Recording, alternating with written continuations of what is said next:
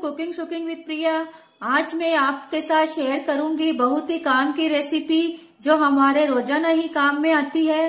वो है चाय का मसाला। मसाले वाली चाय जो हम मार्केट में पीते हैं, उससे कई गुना टेस्टी चाय का मसाला हम घर पे ही बना सकते हैं। उसके लिए हमें एक रेशो होता है जो मैं आपके साथ शेयर करूँगी। इस रेशो के साथ आपको चाय का मसाला बनाना है। तो मैं गारंटी के साथ कह सकती हूँ कि आपके घर का एक एक कोना महक जाएगा। होममेड चाय मसाला रेसिपी इसको बनाना बहुत ही आसान है और सिर्फ़ पाँच मिनट में हम इसको बना लेंगे। तो आइए बनाना शुरू करते हैं। पचास ग्राम लिए हमने सौंठ, ये साबुत है।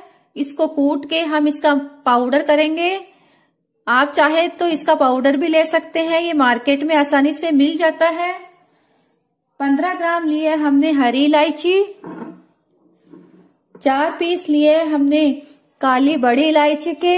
ये ऑप्शनल आप चाहे तो डाल सकते हैं, इससे खुशबू अच्छी आती है। दस ग्राम ली है हमने काली मिर्च, साबुत।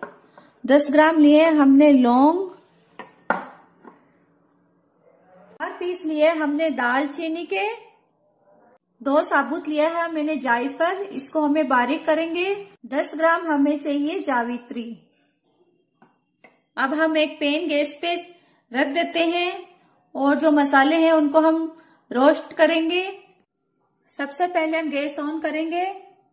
गैस ऑन करके हमने जो साबुत मसाले लिए थे, वो सब हम इसमें डालेंगे और इसको एक मिनट तक हम चलाते रहेंगे ताकि अच्छी तरह भून जाए। ये देखिए, सारे मसाले जो हमने लिए थे, ये सब हम इसमें डाल देंगे और इनको अब हम लगातार चलाएँगे। इस तरह। एक मिनट तक ही हमें इसको चलाना है। ऐसा करने से मसाले की खुशबू बहुत ही अच्छी आती है। आप एक बार इस रेसिपी को बना के देखिए।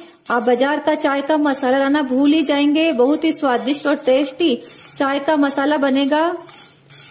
एक मिनट हो गए हैं, अब गैस की फ्लेम को मैं बंद कर देती हूँ और इनको निकाल लेती हूँ। सॉल्ट को मैंने कूट के अध कचरा कर लिया है।